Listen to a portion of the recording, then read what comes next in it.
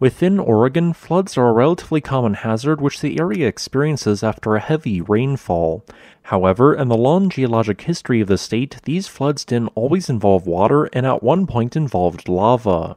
For a period of several million years, Oregon and Washington were repeatedly buried by floods of lava, which in some locations measure more than 13,000 feet thick.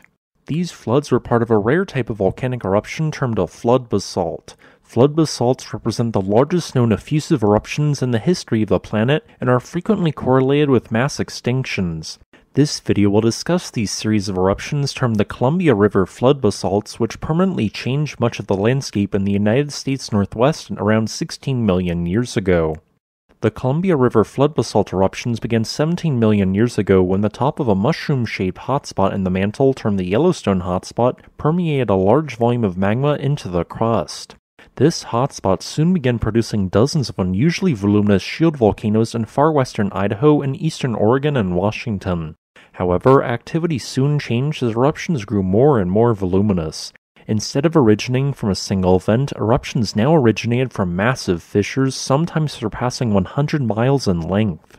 The entire length of these long fissures erupted during individual flood basalts covering immense amount of land and molten rock. Beginning around 16.7 million years ago, the peak phase of the Columbia River flood basalts began. During the subsequent period of activity, a 150 kilometer or 93 mile long fissure opened up in far southeastern Washington state. Soon, the entirety of this fissure began erupting lava, outputting 2,944 cubic meters per second. For comparison, this is comparable to approximately 1,000 simultaneous Kilauea volcanic eruptions in Hawaii occurring at the same time.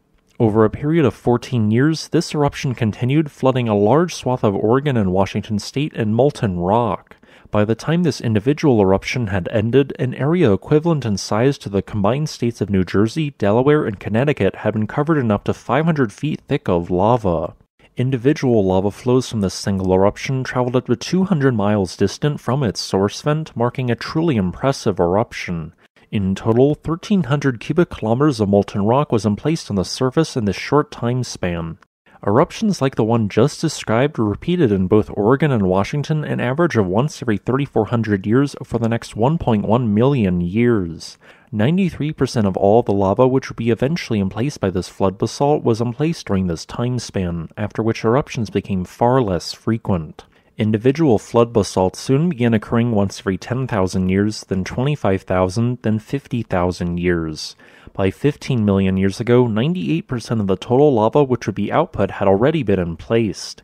For the next 10 million years, far less frequent residual eruptions create a series of smaller volume flood basalts, which even sent flows of lava into northern Nevada.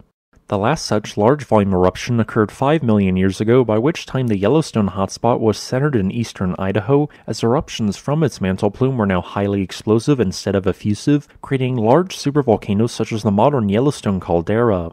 During the 12 million year long time span, 210,000 cubic kilometers of low silica lava erupted onto the surface, covering more than half of Oregon and Washington and black volcanic rock.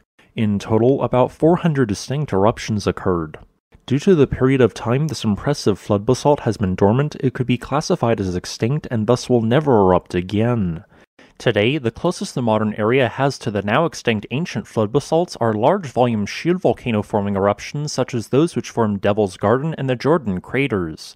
Yet, these eruptions are less than 1% of the size of the average ancient flood basalt eruption. One notable area where the aftermath of these voluminous flood basalts can be observed is the Palouse River Canyon.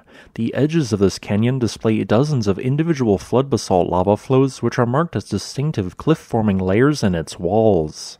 These basalt lava flows only became visible after millions of years of erosion as a flow of water carved away at the hardened volcanic rock. I hope that you enjoyed this video. If you'd like to request a specific topic, please leave a comment below.